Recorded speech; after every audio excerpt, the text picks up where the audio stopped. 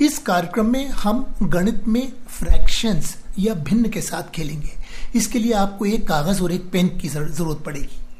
अगर मान लीजिए इस कागज़ का मूल्य पूरा मान एक है तो इसमें आप आधा कैसे दर्शाएँगे? ये बहुत ही आसान है। आप कागज़ को पहले आधे में मोड़िए, फिर खोलिए, फिर बीचों बीच एक लाइन बनाइए और एक हिस्से को आप शेड कर दीजिए। तो ये आपको आधा दर्शाएगा। इसी तरह से इस कागज़ में आप एक चौथाई कैसे दर्शाएँगे? वो भी आसान है। पहले कागज़ को आप आधे में मोड़िए, फिर उसको चौथाई में मोड़िए, उसके बाद उसको खोलिए और उसका एक टुकड़ा चार में से पर लाइन बनाइए और उसको शेड कर दीजिए। ये हो गया एक बटा चार इस पूरे कागज़ का। इस एक बटा चार को आप एक अन्य तरीके से भी दर्शा सकते हैं। अब एक बहुत ही प्रैक्टिकल प्रॉब्लम है। एक किसान है, जिसका दो और दो तिहाई एकड़ का खेत है, और ये कागज़ वो दो और दो तिहाई एकड़ दर्शाता है। अब उस किसान को किसी कारण से एक एकड़ खेत बेचना है। इस कागज़ में एक एकड़ कितना होगा? तो देखिए, दो और दो तिहाई एकड़ हो जाते हैं, आठ बटा तीन।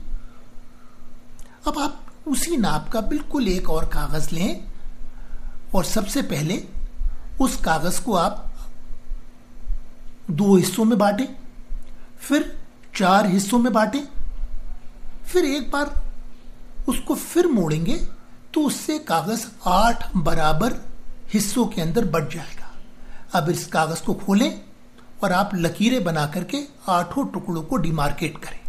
इसमें तीन हिस्से एक एकड़ होंगे, बाकी तीन हिस्से दो एकड़ होंगे और जो बचा हुआ दो तिहाई एकड़ का टुकड़ा बचेगा।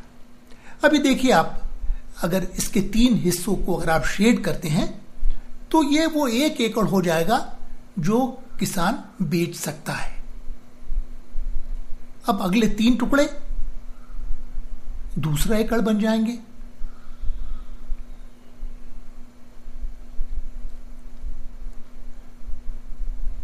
और जो बाकी दो टुकड़े बचे हैं, वो बचावा दो तिहाई एकड़ हो जाएगा।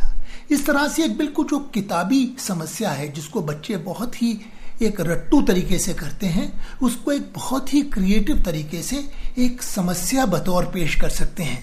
इससे बच्चों के दिमाग में एक चित्र बनेगा कि भिन्न के मतलब क्या होते हैं। इसके अगर तीन हिस्से हम अलग से फाड़ देंगे तो यही वो एक एकड़ होगा जो किसान बेच सकता है। और बाकी बचेगा एक और दो तिहाई एकड़।